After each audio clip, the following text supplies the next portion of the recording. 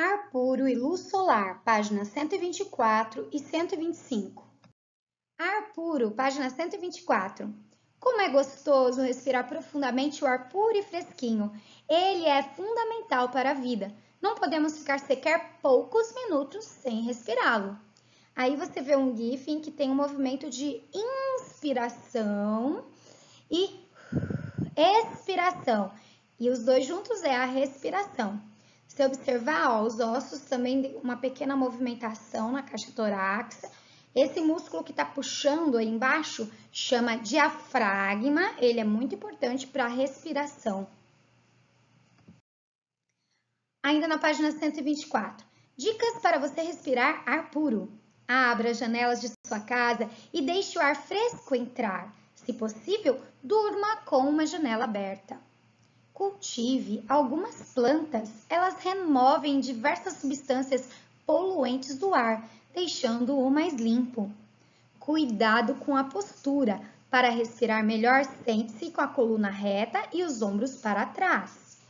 Respire tranquilamente. Algumas vezes durante o dia, faça respirações lentas e profundas. Vamos fazer agora?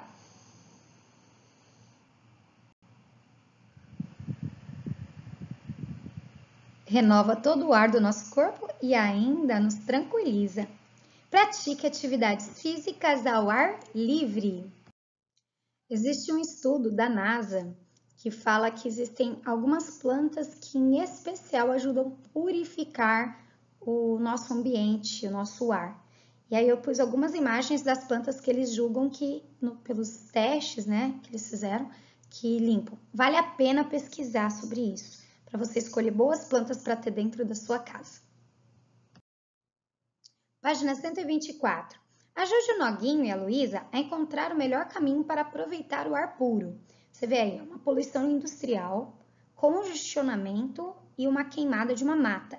E embaixo um ambiente tranquilo e bem é, limpo. Como a gente vai chegar lá? Daí eu procurei aí, você dá um pause, vê como que você procurou e depois volta para a gente conferir se deu certo. Conseguiu completar? Então olha lá como eu fiz. Eu fiz esse caminho aí, e você? Fez um caminho igual, diferente? Luz solar, página 125.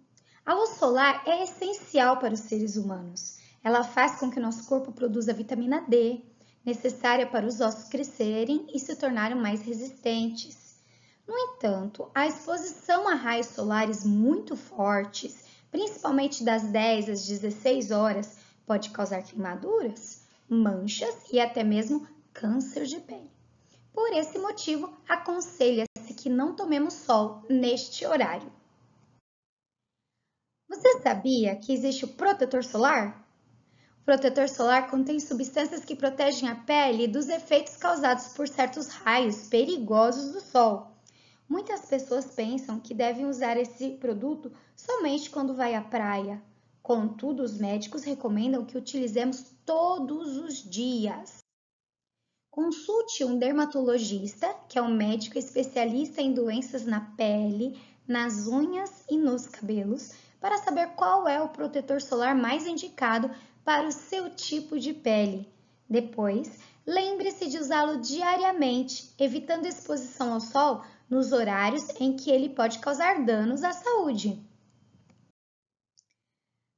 Exercício 5. Michel vai passear no campo em um dia bem ensolarado. Assinale com um X os itens que ele deve escolher para garantir sua própria proteção. Eu achei que precisaria ser o óculos de sol por causa da proteção dos olhos, o boné, a água e o protetor solar. E você? Concorda comigo ou tem mais algum item? Coloca aí, vamos ver. Sabe, pessoal, a gente está vendo aí alguns presentes que Deus nos deu.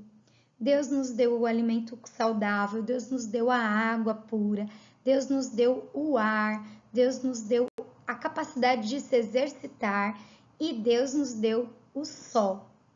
O sol para nós, você acabou de ver aí que ele ajuda na vitamina D.